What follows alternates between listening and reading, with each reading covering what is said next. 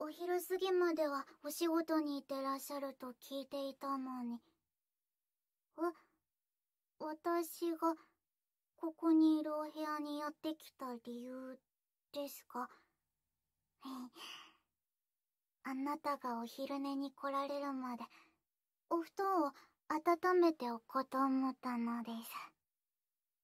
お仕事のお疲れを癒されるために冷たいお布団では目が覚めてしまうかと。あの、よろしければ、私がお隣で一緒に寝て、湯たんぽになっても、良いでしょうか。あ、いいのですか？はい。では、お隣にお邪魔して、お、へっ。はい。湯たんぽになるつもりだったのに、私が温められてしまいそうです。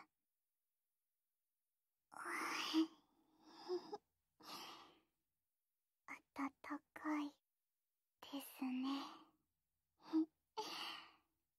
お日様のもとで眠る芝生のように落ち着きます。私、ここに来る前は、外で眠ることしかできなかったので。あ、はい、すみません。お休み前にするお話ではありませんでしたね。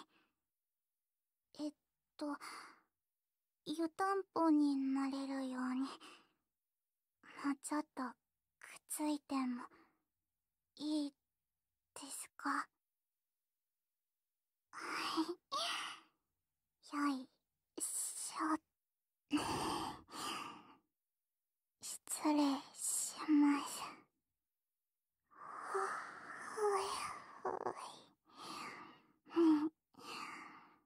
どうですか？少し眠たくなってきたでしょうかどうしましょう。私の方が先に眠ってしまいそうです。